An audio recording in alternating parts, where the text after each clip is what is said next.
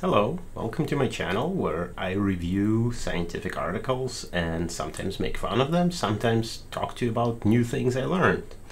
So today we're going to talk about something that I find pretty cool. We're going to deposit silver nanoparticles onto different surfaces and sinter them using plasma. So let's get right on to it. This is published in American Chemical Society Applied Materials and Interfaces. And this paper talks about atmospheric pressure and ambient temperature plasma jet sintering of aerosol jet printed silver nanoparticles.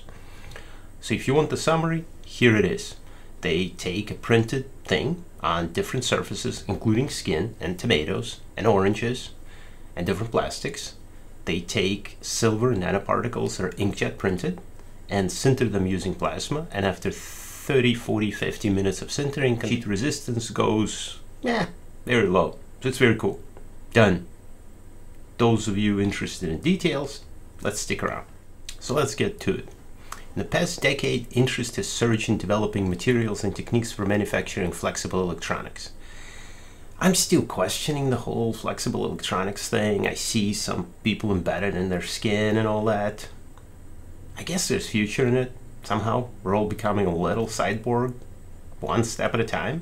So in this paper, they review or they present aerosol jet printing that's sintered using atmospheric pressure plasma. So in this AJP method, the printable ink is first aerosolized using pneumatic or ultrasonic atomizer. Ah, let's go to the picture. They have a really nice picture. This is the whole process. So they create aerosol somehow of these uh, nanoparticles in a solvent they use sheath gas, nitrogen in this case, I guess, to guide these particles and move the head around to print. Just the basic inkjet printer. Fancy one. Then they put that in a controlled chamber with infrared camera behind the glass. Then they use atmospheric pressure argon jet to sinter the particles on the substrate and they look at the temperature of the substrate from behind. So here they're showing highest glowing light of 45 degrees Celsius. And they can deposit it on leaves and tomatoes, and here is unsintered and sintered after 100 minutes. Cool. Alright, let's see. The stabilizing agent, which in this case is uh, polyvinyl chloride, PVC, ranges from 100 to 200 degrees Celsius. And to achieve sintering, the temperature needs to be even higher. So that's, you know, three, 400 degrees Celsius. That's pretty hot. You can't really put a tomato in that. Not for a long time anyway. Various sintering methods have been developed, including laser, photonic sintering, plasma sintering, and others. There's a plasma spark, where plasma is thermalized, as in it's in thermal equilibrium, which means very hot. So spark is not good. Non-thermal plasmas are very cool because they're out of equilibrium where temperature of electrons is very high, thousands of kelvins, tens of thousands of kelvins, and temperature of the rest of the gas is neutral, so you can apply this plasma to a tomato without damaging it. So the authors claim that in their case, low temperature sintering is presumed to be driven by energetic plasma species mobilizing the surfaces of nanoparticles rather than a heating effect. Kinda sorta beg to differ, but let's look at the details. I'll talk about my questions in a minute. Interesting, the authors say the advantage of utilizing plasma systems and sintering is their adaptability for high quantity processing without requiring synthesizing or washing steps to adjust specific amount of chemicals and solvents. Yep, you can put an atmospheric pressure plasma on a conveyor belt, but these guys keep it in the chamber for an hour. Controlled atmosphere chamber. That's also kind of problematic, but they can put a tomato in there. So there are advantages, there are disadvantages, science, research, development. So in this study, the authors show that the substrate temperature from the back, from behind the thing, the substrate temperature can be maintained below 50 degrees Celsius by turning plasma on and off. And we'll see that in the picture. And again, they mention that they can demonstrate this sintering on the ripe tomato, leaf, flexible plastic with no apparent damage. No apparent damage.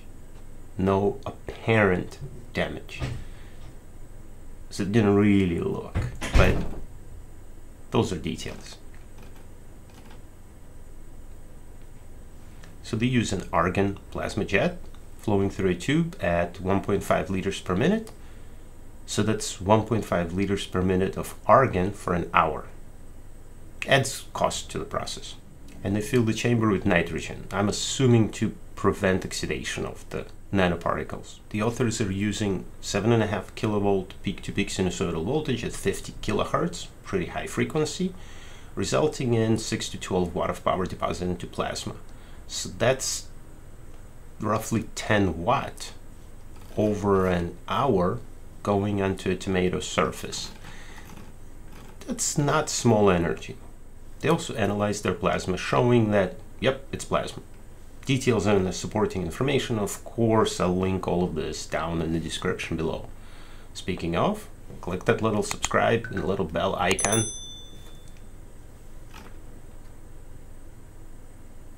and they show that in 20 minutes the resistance of the printed film reduced over six orders of magnitude.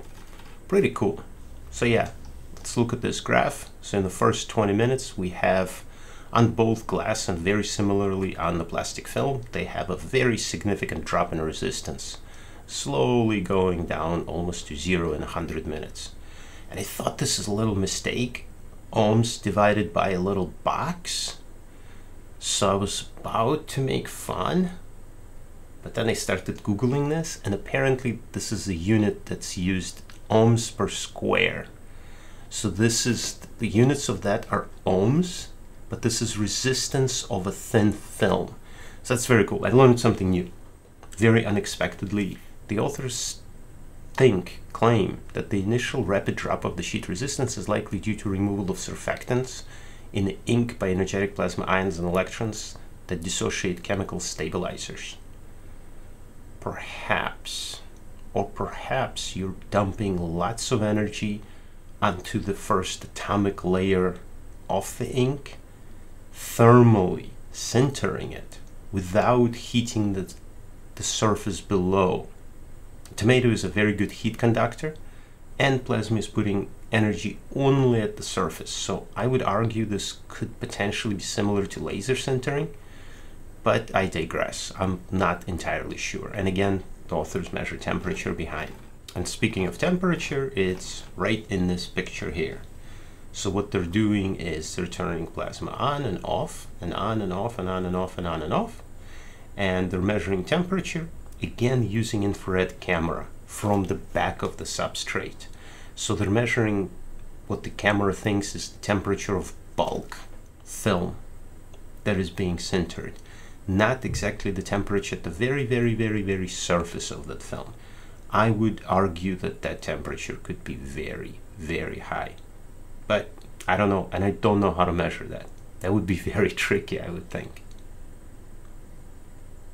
we tried to measure that with human skin and it turned out to be pretty difficult. To confirm their claim that this is not thermal, they stuck the sample into an oven at 300 Celsius for two hours and got similar conductivity. And then they took the same oven, put it at 50 degrees for 100 minutes, and the samples were non-conductive. I don't know if that's the right control for this. Maybe laser sintering would be a better control for this, but I'm not sure. I have some questions about this study. This is beautiful study, very interesting, excellent results. Some questions. So in summary, authors claim that plasma jets or similar non-thermal plasmas have emerged.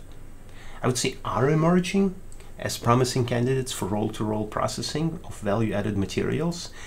Please continue this research. This is very awesome. We're doing something similar, hopefully publishing soon. And I really like that authors say printed pattern on a silicon substrate attached to human skin during plasma sintering. Cool. Can we go direct on the skin? I'm sure a lot of people would like that. Anyway, guys, thank you for joining me for this short review. Excellent, excellent work by the authors in American Chemical Society Journal.